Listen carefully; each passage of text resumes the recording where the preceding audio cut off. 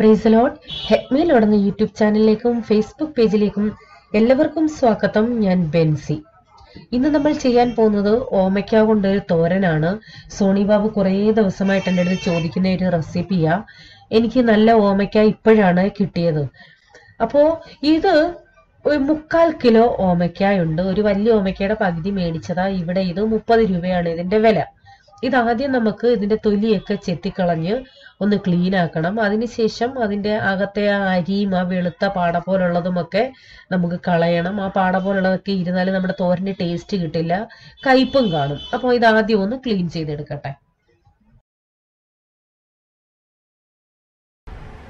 ഇതിന്റെ അകത്തെ ഇത് എടുക്കാനായിട്ട് പിച്ചാത്തി കൊണ്ട് അറിയാത്തവർക്ക് ഇതേ ഒരു സ്പൂണും കൊണ്ട് ഇങ്ങനെ ഇങ്ങനെ ആക്കിയാൽ മതി. ഇതെല്ലാം ഇനി ഇളകി വരും. അതിനെ ചെത്തി കളയേണ്ടവർക്ക് ചെത്തിയും കളയാമേ. ഇത് അരിഞ്ഞ ശേഷം കഴുകണ്ട നമ്മൾ നല്ലതുപോലെ ചെത്തിയെടുത്ത് കഴുകിയ ശേഷമാണ് അരിയുന്നത്. ഞാൻ ഒത്തിരി അങ്ങ് പൊടി പൊടി പോലെ അരിഞ്ഞിട്ടില്ല ഇത്തിരി ചീകിയാ അരിയുന്നത് നാട്ടിലൊക്കെ പൊടിയായിട്ടാ അരിയുന്നത് അപ്പൊ ഇതെല്ലാം കൂടി നമുക്ക് ഇളക്കണം. അതിനു വേണ്ടി ഞാനൊരു പാത്രത്തിലോട്ടൊന്ന് മാറ്റുവാണേ. ഇത് പല രീതിയിൽ ചെയ്യാം. ഇത് ആദ്യം അരപ്പൊന്ന് ചൂടാക്കിയ ശേഷം ഓമയ്ക്ക് അതിലിട്ട് ഇളക്കാം. അതല്ല എന്നുണ്ടെങ്കിൽ ഞാനിപ്പോ ചെയ്യുന്നത് ഈ അരപ്പെല്ലാം കൂടി നമ്മൾ തോരൻ വെക്കത്തില്ലേ? ഇട്ട് ഇളക്കി. അതുപോലാണ് ഞാനിപ്പോ ചെയ്യുന്നത് ഇത് അരമുറി തേങ്ങ പച്ചമുളക് നിങ്ങളുടെ എരി അനുസരിച്ച് എടുക്കാം. ഒരു സവാളയുള്ളി. ഞാനിവിടെ ചെറിയ ജീരകം നല്ല ജീരകം വറുത്ത് പൊടിച്ച ജീരക പൊടിയാണ് യൂസ് ചെയ്യുന്നത് അത്രയും വേണ്ട ഇത്രയും മതി. ഒരു കാൽ ടീസ്പൂണേ ഇട്ടിട്ടുള്ളൂ. ഇനിയും നിങ്ങൾ മുഴുവനേ ഉള്ള ജീരകമാണ് ഇടുന്നതെങ്കിൽ നമ്മൾ കടുക് താളിക്കത്തില്ലേ? അപ്പോൾ അതിനകത്ത് ഇടാം. അതല്ല നിങ്ങൾ തേങ്ങ ചതയ്ക്കുന്നു എങ്കിൽ അതിനകത്തിട്ടും അരച്ചെടുക്കാം ജീരകം.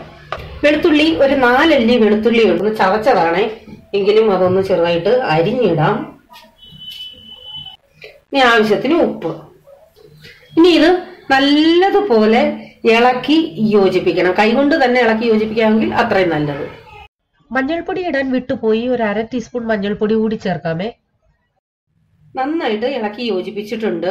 നിങ്ങൾക്ക് ഈ തേങ്ങ കല്ലേലോ മിക്സിയിലോ വെച്ച് ഒന്ന് ചവച്ചെടുക്കണമെങ്കിൽ എടുക്കാമേ. അപ്പോ അതിനകത്ത് വെളുത്തുള്ളിയും ജീരകവും ഒക്കെ ഇട്ടാൽ മതി.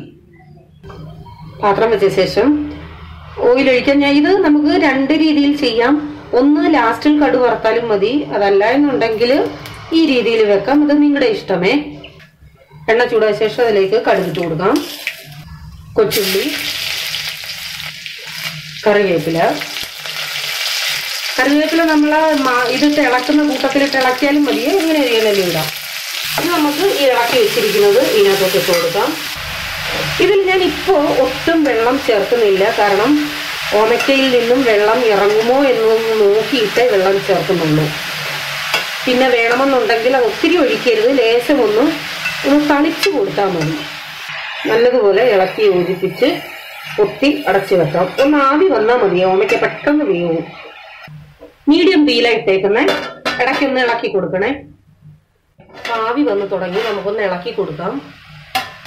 ഞാൻ വെള്ളം ഒട്ടും ഒഴിച്ചിട്ടില്ലേ? ആ ഓമയ്ക്കയുടെ ഈർപ്പത്തി തന്നെ കിടന്ന് വേകുന്നേ. മീഡിയം തീയിൽ ഒന്നുകൂടെ അടച്ചിടാം. ഇപ്പൊ നന്നായിട്ട് വെന്തെന്ന് തോന്നുന്നു. നല്ല മണം വരുന്നുണ്ട്. നന്നായിട്ട് വെന്തു. ഇത്രയും മതി. അപ്പോൾ ആദ്യം കടു അളിക്കാതെ ചെയ്തവര് ഇപ്പം കടു അളിച്ച് ചേർക്കാം. പലരും ഓമയ്ക്ക തോരനിൽ കടു അളിക്കുമ്പോൾ അരി ഇടാറുണ്ട്. ഞാനും അങ്ങനെ ചെയ്യാറുണ്ട്. നല്ല ടേസ്റ്റാ. അങ്ങനെ വേണമെന്നുള്ളവർക്കും അങ്ങനെ ഒന്ന് ട്രൈ ചെയ്യാം. അപ്പോൾ ഇതിപ്പോൾ റെഡി ആയിട്ടുണ്ട്. ഇത്രയും മതി. ഞാൻ ഓഫ് ചെയ്യുക. ലാസ്റ്റിൽ വേണമെന്നുണ്ടെങ്കിൽ ഇതിന്റെ മുകളിൽ കുറച്ച് പച്ച വെളിച്ചെണ്ണ ചേർക്കാം. ഞാനിപ്പോ ചേർക്കുന്നില്ലേ? അപ്പോൾ ഓമയ്ക്കത്തോരൻ റെഡി ആയിട്ടുണ്ട്. ഇത് ഒത്തിരി അങ്ങ് വെന്ത് പോണ്ട വെന്ത് പോയാൽ കുഴഞ്ഞു പോകും. പിന്നെ നിങ്ങളുടെ ഇഷ്ടം എത്രയും വേവിക്കണമെന്നുള്ള അതായത് ഒത്തിരി വേവിക്കണോ കുറച്ച് വേവ് കുറച്ച് മതി. അതൊക്കെ നിങ്ങളുടെ ഇഷ്ടം അനുസരിച്ച് നിങ്ങൾക്ക് വേവിച്ചെടുക്കാം. ഇതിപ്പോ കണ്ടോ അധികം കുഴഞ്ഞിട്ടില്ല. നല്ല പരുവത്തിന് കിടക്കുക അപ്പോൾ ഇത് ട്രൈ ചെയ്യണം. എന്നിട്ട് അഭിപ്രായം അറിയിക്കണം. വീണ്ടും പുതിയൊരു വീഡിയോയുമായി വരാൻ till then bye God bless you